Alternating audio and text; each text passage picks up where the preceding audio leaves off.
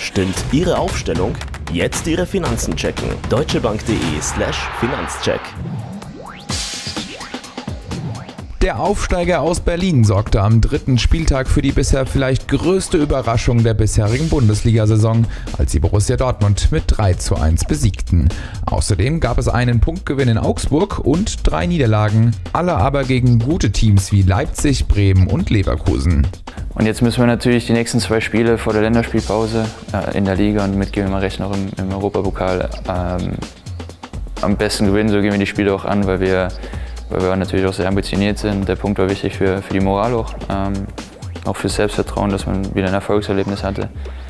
Von daher klar, die, die Marschroute in Berlin wird sein, dass wir, dass wir dorthin fahren und gewinnen wollen, klar. Der Schweizer Urs Fischer spielt gerne im offensiven 4-3-3-System. Da die Taktik beim Saisonauftakt gegen Leipzig in die Hose ging, stellte er auf ein 4-4-2 um. Die Spielweise Fischers dürfte für Adi Hütter aber nichts Neues sein, denn Fischer und Hütter kennen sich sehr gut. Fischer war zwei Jahre Coach beim FC Basel und besiegte unseren Trainer schon viermal.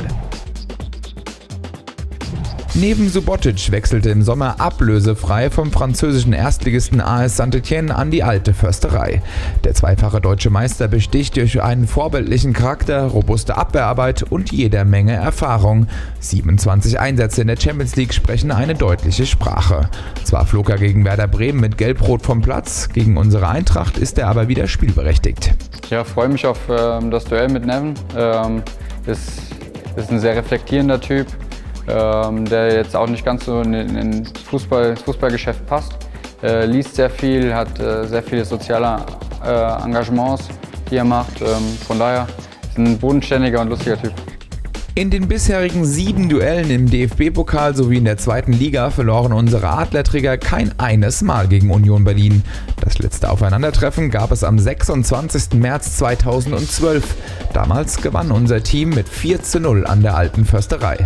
Bitte am Freitagabend einfach nachmachen, Adlerträger.